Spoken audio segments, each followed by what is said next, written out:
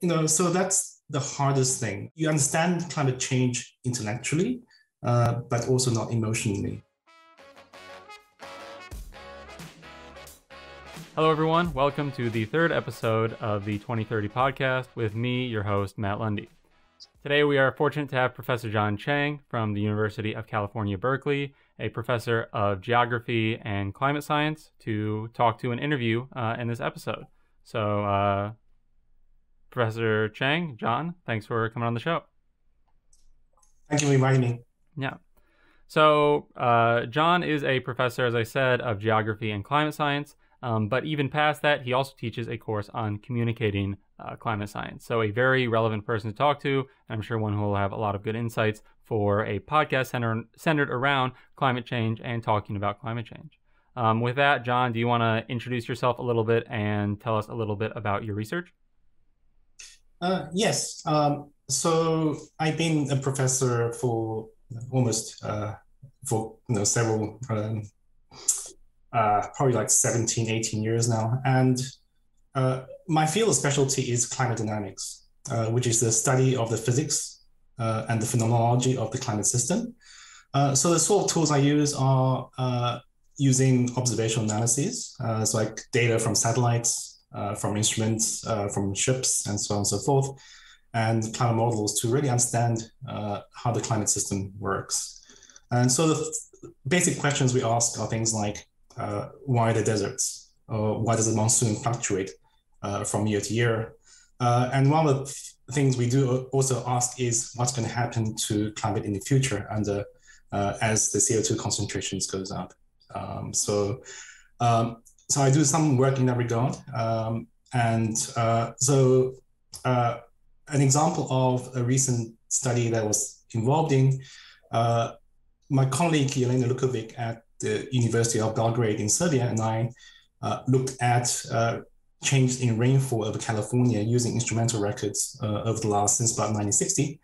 And the thing we found was that the rainy season, the start of the rainy season has gotten later and later as, as, as time progressed. Uh, so, and this is of consequence because that prolongs the wildfire season, uh, for instance. Yeah, yeah, so that's the sort of I do. Okay, uh, very interesting. Um, one from like a physical science point of view. Uh, for anyone in for the podcast that doesn't know, I went to Cal uh, and I did a astrophysics degree. So the physical science, I'm super interested as well. Um, unfortunately, didn't get to take any classes with John. But then anyone who might not be as interested, I guess, in the physics of it, is still any anyone in California. The wildfires, uh, the droughts, the temperatures is super relevant. And as we're seeing year after year with massive wildfires, um, that's really important information to know, especially if it's changing and getting worse, and how we're going to deal with that uh, moving forward. Um, so, off of that, uh, I was wondering how you kind of got started into your path into climate science and what led you down um, the path to go to uh, your research. Uh, since, like as I said, I had an astrophysics degree, but now I'm going into climate and more on the communication side. You're still pretty heavy in the physics, the science of it. So yeah, just interested to see how the path went for you. Yeah, um, I was always interested in physics and mathematics as a kid, uh, and you know when I moved to the states, uh, I started first uh, as a, a, graduate student in physics, intending to get a PhD there. Uh, but I was always interested in the environment, and uh, when I started looking around for research problems, uh, I, I, realized that the more applied problems interested me more. And, and one day I met Professor, Professor Climate Science, and that was how everything started. And um, you know, I liked it. I, I think uh, I like the fact that I can use my physics and math background uh, to to work on problems of uh, you know of societal interest, and also like the interdisciplinarity interdisciplinarity because um, yeah. you learn climate science has a lot of components to it. Uh, you learn about the atmosphere, the oceans, land systems, uh, cryosphere, and so on and so forth. And you, you, get to talk to a lot of interesting people in related fields. Uh, you know, it's like people interested in the climate information, in economics or anthropology, and so on and so forth. Um, yeah, and in terms of like uh, communication, um, I mean, it's you know because I think we will, as scientists, we have an obligation uh, to communicate what we find uh, because you know we are funded by uh, uh, the public yeah. essentially. Uh, so we do have obligation, and the obligations. I mean, my main I communication is mainly with by teaching to students, uh, but but I also do some public outreach as well. And then uh, that was one thing that definitely caught my eye. Climate as climate courses and teaching very interesting because for me as a learner, that's like a lot of good information. But then also the since one thing that I'm trying to do more of uh, is specifically the communication side. So seeing that there's like education focused on that is really cool, uh, especially for people that aren't necessarily going into like say science communication strictly because, for example, that's my path. Um, but it's a pretty small field, and most people aren't going to be going directly into that. So having that be a part of a broader program is really interesting. And mm-hmm. off of that, I wanted to ask. Um, in terms of when you're communicating climate to students and when you're uh, teaching students about the communication of climate science, what are the kinds of things that you found to be most useful in those settings and those teachings, those like interactions? Yeah, I, I think um, the thing I like to communicate um, is the beauty of the Earth and the climate system, and actually of the field itself. Uh, I think here we can learn from astro astronomy, astrophysics, because um, forgive me for saying this, uh, like astronomy has very little practical uses, but it is, you know, people are fascinated by it. Um, yeah. And I think uh, my approach is to try and, and communicate the fascination of the field. Um, and the reason being is because if you want people to pay attention to you, you have to make them care. Yeah. And making them care it's it's really more of an emotional uh, thing rather than an intellectual thing. Um, so for me, um, when I try to teach climate science, I try to make it very intuitive and understandable because I think people appreciate learning. Yeah.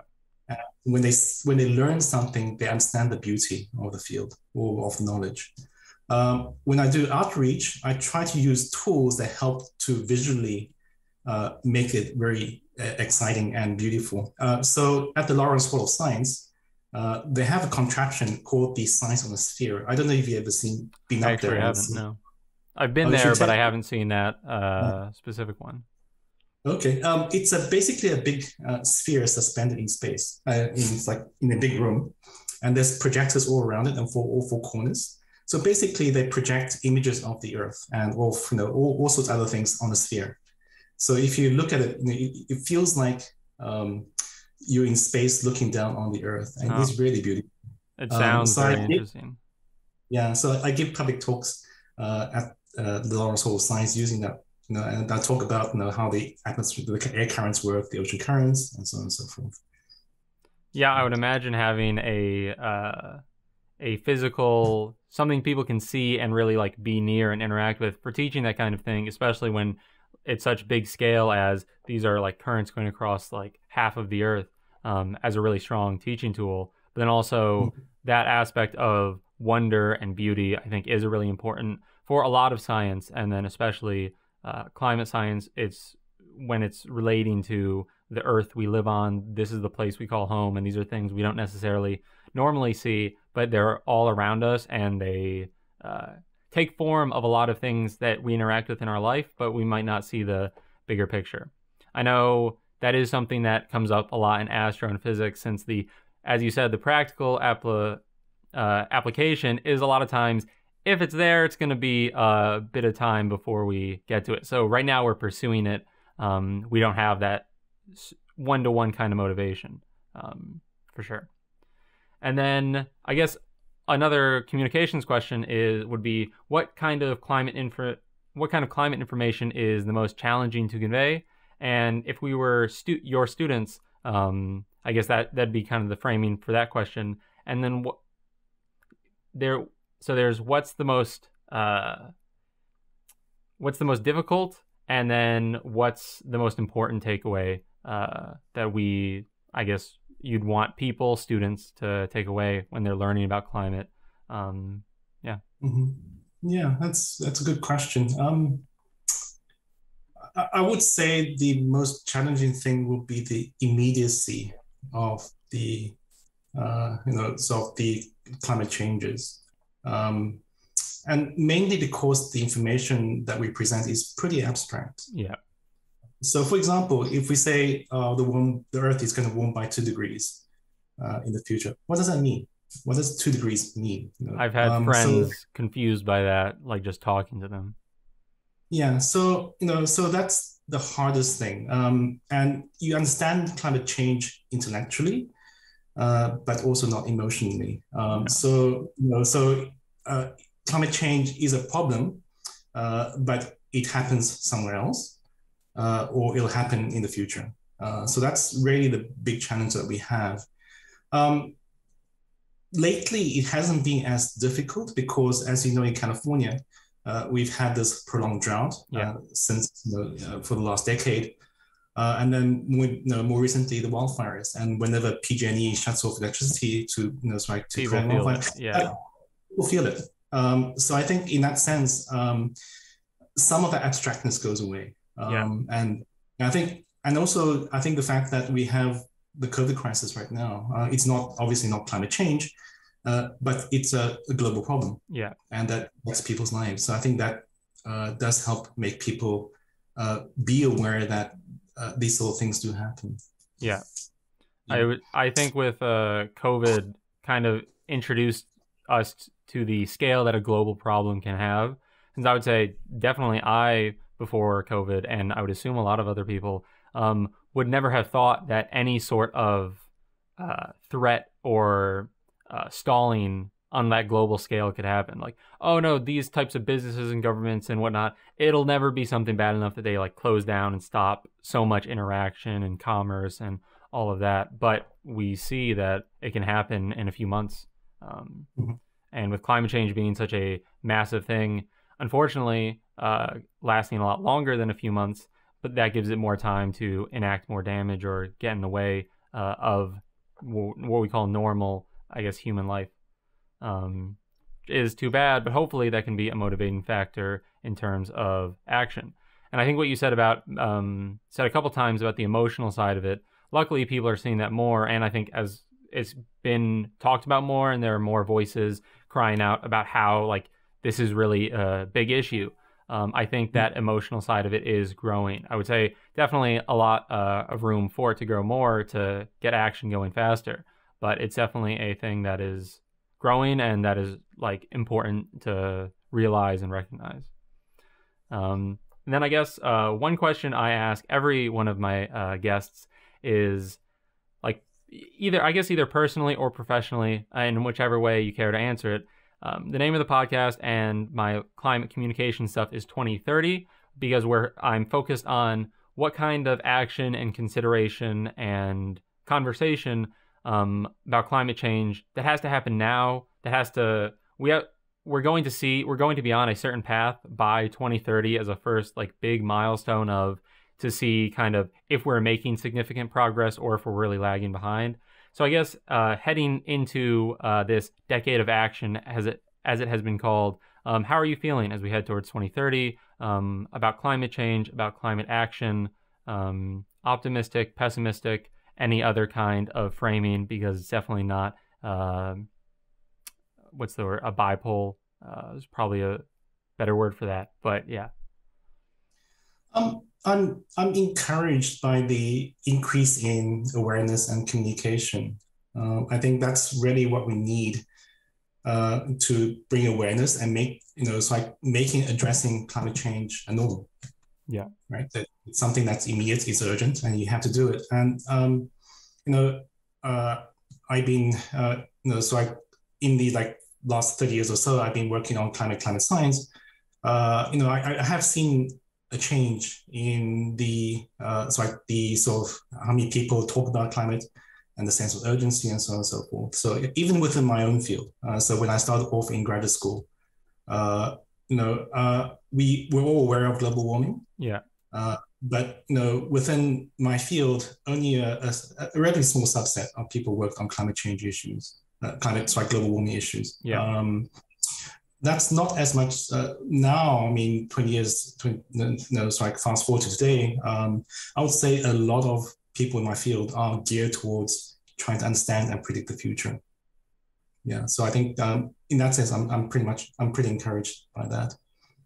Well, that's um, you know, that, yeah. That being said, I think um, uh, the pace of climate action has been quite slow. I mean, because from a scientific yeah. perspective, uh, you know, we, we understand the carbon counting, right? So if we want to limit uh, global warming to say two degrees, as what the Paris Accord asks us to do, yeah, uh, to limit the you know, like danger climate change, then it really limits it, it limits the amount of carbon dioxide we can emit into the atmosphere. So this whole conversation about we have to drastically reduce emissions really comes from that. It's it's yeah. an understanding of the carbon budget of the atmosphere. Yeah and that is something i guess it's uh, good to hear that you're encouraged and i would say in a similar way i am um, with the how it does seem to be something that's a lot more people um, for me i see it people outside of the field because i don't see directly in the field of climate science that there's now more people working on global warming um, i hope that doesn't take away from other aspects of the field of just pursuing for interest but i understand that a mm-hmm. large problem coming up um, attention gets directed at that. Um, but and then also on the need for action, uh, that it does it can feel uh, very slow. Um, and in terms of the scientific, the carbon budget, um, it's it's kind of a matter of fact of that's the budget to hit the degrees, and if we go over that, then it's uh, it's just cause and effect. And which I guess is kind of a lot of these conversations end up with some degree of optimism and yearning for more change and more action happening quicker, um, which I guess is uh, it's a mixed bag. Um, but it is, I guess, one thing is good about it that it's a lot of people uh, that I'm talking to and that I see are uh, at the they're optimistic, but they are also it's not there's doesn't seem to be any level of complacency with the people that are involved in it. Um, there, there would be definitely some element of people as a whole not seeing it as an immediate threat and being complacent mm-hmm. to some degree there, and communications uh, could definitely play a part in helping to do that, which I guess I'm trying to do here. Um, right. But that it's a matter of, um, I kind of just lost my train of thought. Uh, but the complacency or it's uh, when i'm talking to people it's optimism but there's not complacency in the oh we can do it we'll get it done it's not anything to worry about it's we can do this but we need to do this and it, it's kind of a, a mixed bag on how much we are doing this right now. Um, yeah.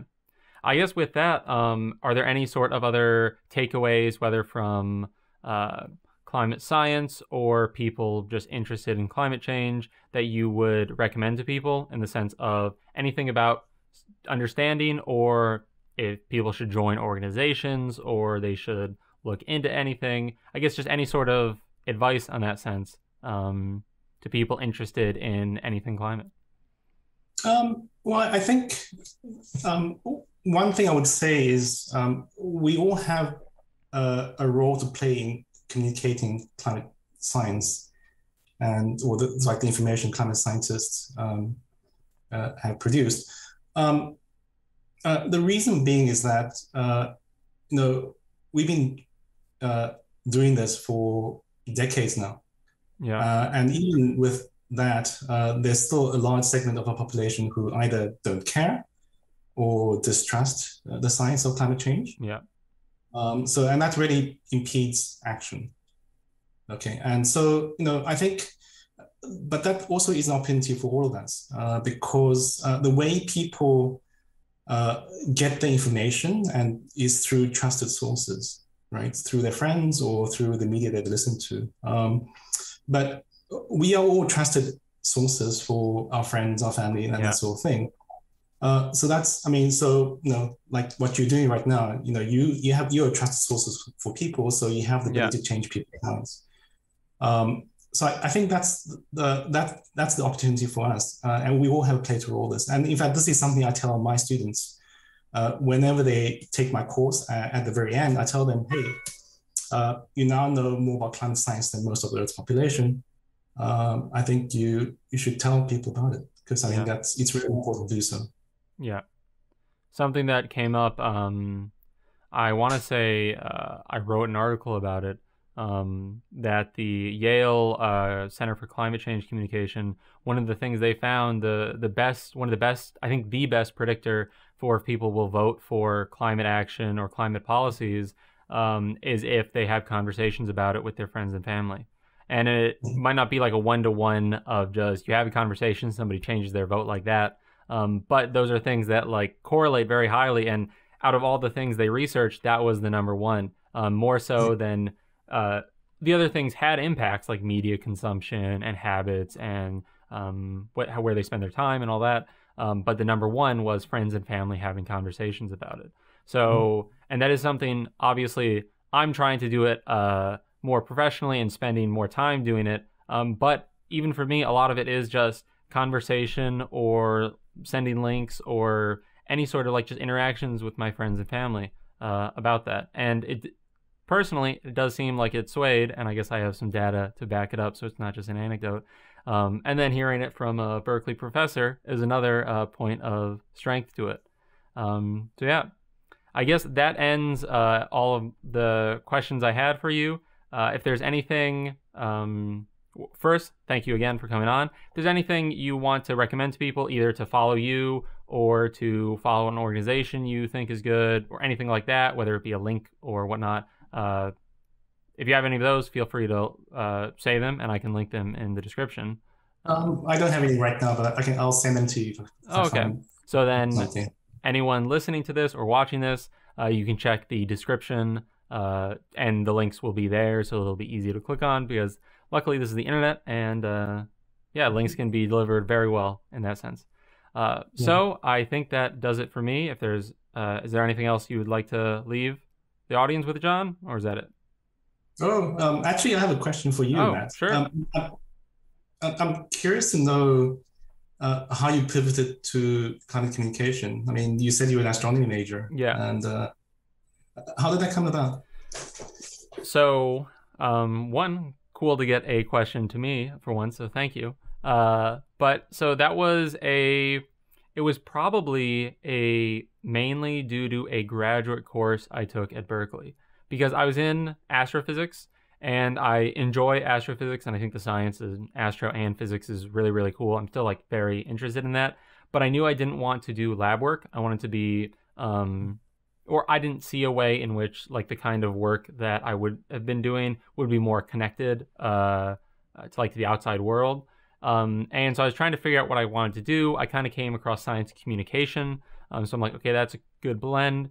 And then I took a graduate course with the journalism school at Berkeley um, with Professor uh, Elena Canas about uh, science misinformation and science disinformation. And so there was a study of the tobacco industry messing with uh, health science, um, and then how all of those um, strategies essentially just transferred over to other things like acid rain or like the hole in the ozone, and then most recently, and maybe most significantly, to climate change. And seeing the massive like effort to delay climate action and how we used to have like the IPCC was founded um, at the like 30 ish years ago, I think in 1988.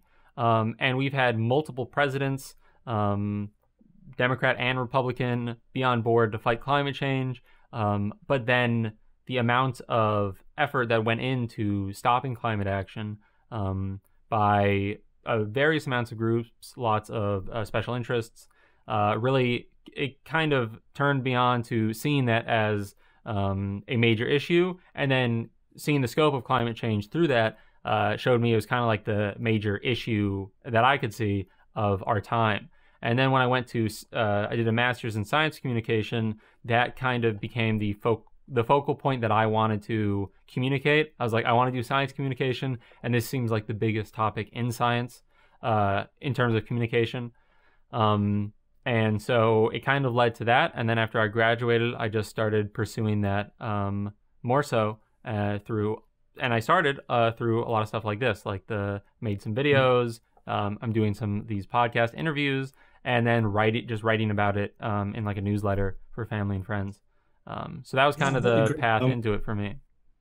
That's very interesting. I think the next time we teach communicated climate science, we'd like to we should invite you to come uh, talk to us. Oh, I I think a lot of students will be interested to see to hear about your experience. I would be more than honored to do so. Um, I th- I think I could uh, give some sort of interesting talk. I guess one thing uh, would be related is that for me it was a lot of Hmm. not knowing where I wanted to go. Um, Yeah. And I guess there would have been a lot of things I could have done if I knew sooner. Like I could have taken some of your courses. That would have been very cool. Um, but even with that, I I still am in a place where like I I'm happy with even if I didn't do it earlier, I'm still happy that I'm doing it now. Um, and yeah, if you would want to hear me talk and have me talk to your students, I would again be more than honored and thrilled to. Wonderful. All right. Uh, so that should do it for the third episode of the 2030 podcast. I want to thank uh, John again for coming on. The conversation was very interesting uh, in a variety of ways, uh, having the climate change research and then also uh, like evidence and direct experience climate communications is not something that uh, I would expect to see a lot of. Uh, so when I can find it, that is, it's really fulfilling and just cool to me. So thank you again very much for coming on. Um, and thank you Thank to and thank you to everyone uh, for listening or watching. Um, you can be sure to uh, follow the channel or wherever this gets posted because there'll be more talks like this and more climate videos, podcasts, and all that. So again, thanks, John, and thanks everybody. Bye.